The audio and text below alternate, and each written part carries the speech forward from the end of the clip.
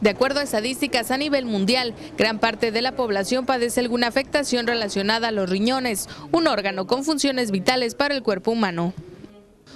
Estabilizar la presión arterial, dar una buena estabilidad en los líquidos en el organismo y también otra de las funciones es eh, producir unas hormonas que regulan la producción de glóbulos rojos para evitar lo que es la anemia y sobre todo la eliminación de las toxinas del organismo para evitar así un problema que es la insuficiencia renal.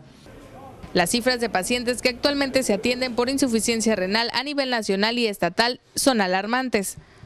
Existen más de 6 millones de pacientes diabéticos a nivel, perdón, nacional. Existen más de 6 millones de personas diabéticas, de las cuales 4 millones se encuentran con daño renal.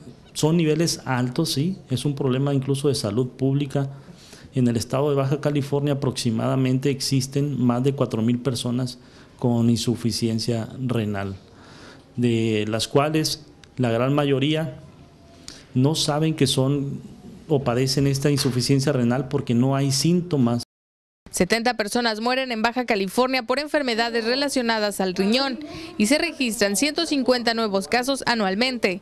La estadística ha aumentado también en la cultura de la donación. El trasplantes en el estado se ha ido incrementando en forma progresiva Comentábamos recientemente que el año pasado se realizaron aproximadamente 60 trasplantes a nivel estatal, cifra que se ha ido incrementando eh, año tras año en los últimos cuatro años. Erika Gallego, Azteca Noticias.